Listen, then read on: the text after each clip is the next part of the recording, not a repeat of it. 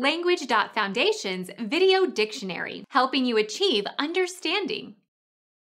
Any important early teacher of Christianity or a Christian missionary to a people. Apostolic Father An ardent early supporter of a cause or reform. An apostle of revolution. New Testament. One of the original twelve disciples chosen by Christ to preach his gospel. Become our student and get access to effective and free educational materials. Subscribe to our channel to become a part of our growing community and to learn English effectively.